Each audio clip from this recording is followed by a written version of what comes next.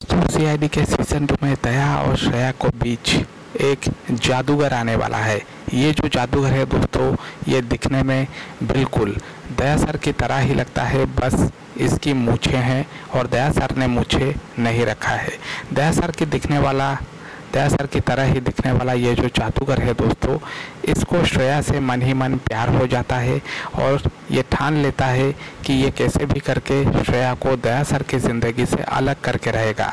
तो ये क्या करता है? ये अपने मुँछे कटवा लेता है जिससे ये दया सर की तरह ही दिख सके और ये जाकर श्रेया से मिलने लगता है। दया सर बनकर श्रेया से रोज़ाना बातचीत करने लगता है और श्रेया को ये लगता है कि वो दया सर से मिल रही है, लेकिन इसने दया सर को बेहोश करके एक जगह पर रख दिया है। अपनी जादूगरी की कला से ये धीरे धीरे श्रेया को इम्प्रेस करने लगता है। अब देखने वाली बात यह है कि क्या सच में श्रेया को पता नहीं चलेगा कि वो दया से बात कर रही है या फिर नकली दया से या फिर श्रेया असली दया को बचा लेंगी इस नकली दया के कब्जे से। इंतज़ार करते हैं इस जादुई एपिसोड का।